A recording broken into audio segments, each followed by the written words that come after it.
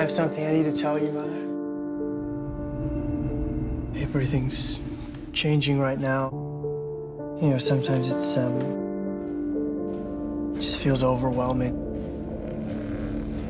And like it's this other part of me. I know you worry about me a lot. I don't want you to. I think there's something wrong with me.